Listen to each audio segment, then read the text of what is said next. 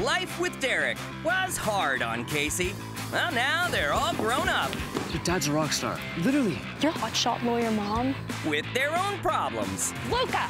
Ridiculous BMX stunts. You snuck out in the middle of the night in Paris. There has to be consequences. And those problems My punishment is visiting my grandparents. You three are gonna cheer them up. We're uh, gonna surprise Dad, Nora, but the surprise is. Grandma and Grandpa aren't even in the country? are about to meet. Hey, Hey, I have something really fun planned for the cousins.